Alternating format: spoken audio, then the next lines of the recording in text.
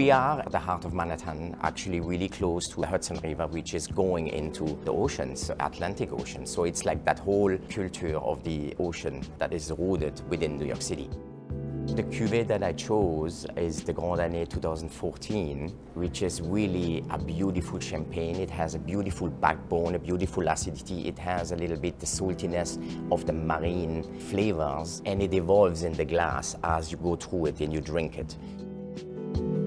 The dish that I chose basically is the melting pot dish kind of where we mix a little bit the Italian approach, the uh, Japanese approach, and then my approach.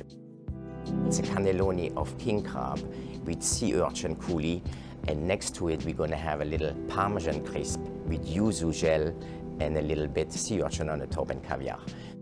So it's a dish that is mimicking the evolution of the champagne in a glass as well. To me, it's a perfect match.